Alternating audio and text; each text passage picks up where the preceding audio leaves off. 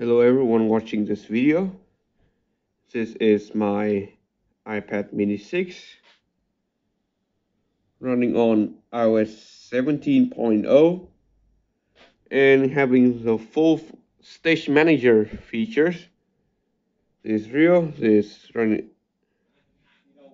outputting through to an external display. This is a 900p display but the output displays 1080p via a weird dongle that I borrowed from a friend of mine, USB-C to HDMI and then to VGA.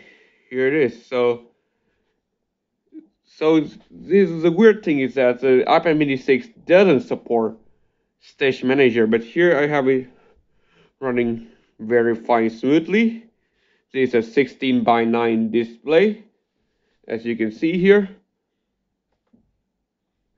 it's outputting at 1080p so yes full 16 by 9 resolution with multi stage manager windows right here. Let me get the mouse. You have the full windows.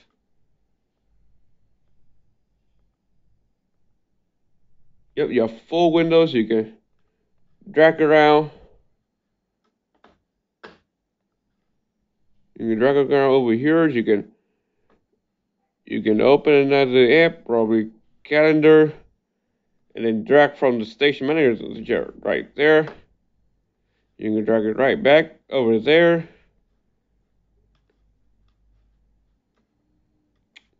And you can just drag the whole thing out here, just like that. Oops, is my private messages. Sorry about that you can switch this to completely full screen right here even though this is the iPad mini 6 so there will be errors here and there about the display. For example there's a very weird blank line over here but overall you get the spirit that it is working here. Minimize yes you can minimize the thing. You can open another app around here. You can open the camera. You can probably open Microsoft Office and open a full spreadsheet. So, for example, this is my homework. You can have it a full display and we'll have a Word document, Excel document doing so. You want to exit, you resize the window as normal. Yada yada yada.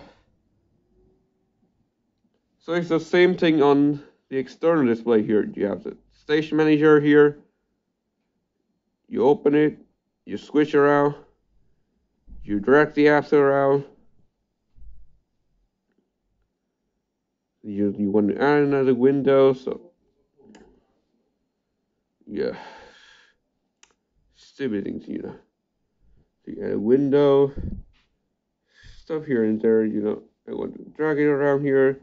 It does the same thing same things working. Oops.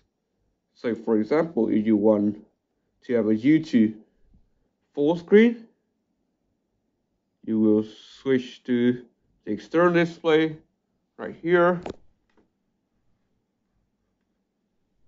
You click Lo-Fi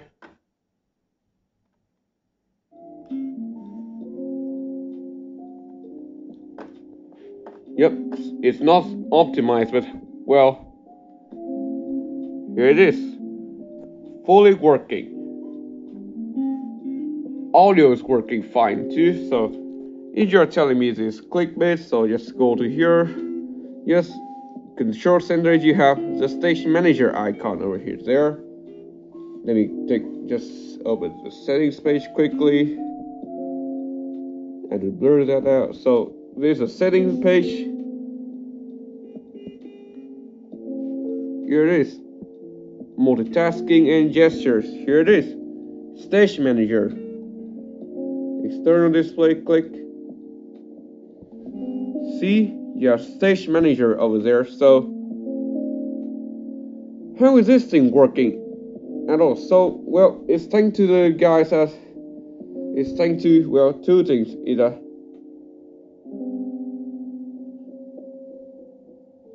you have fields out here and well, another thing is a TrollStore.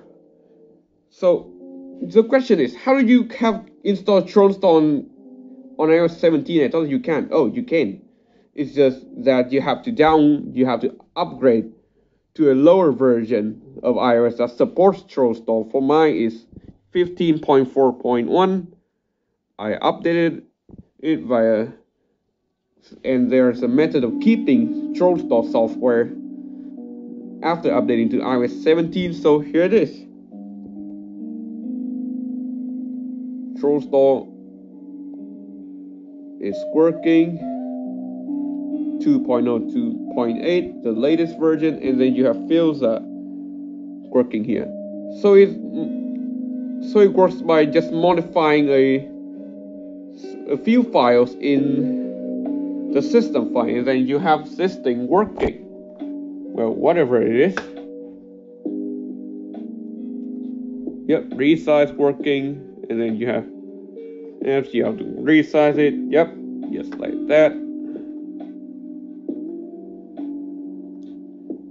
So you want to drag yep over there over there boom boom. Done. Resize a window move a window just like normal what you do on just the pro the pro iPad yep so your iPad is capable of running Stage Manager, but Apple intentionally cut it down to sell more Pro iPads. This can run everything smoothly while having the mobile A15 chip with 40 gigabytes of RAM. Why Apple? Why? Anyway, the method, the installation method for all of this will be left in the description. So remember to check it out if you're interested in any of this. But well, for most of you watching this, uh, you have no chance of installing this because when recording this, there's only a few like around 30 around 30 hours before this installation method is obsolete. So, well, tough luck. So, thanks for watching and goodbye.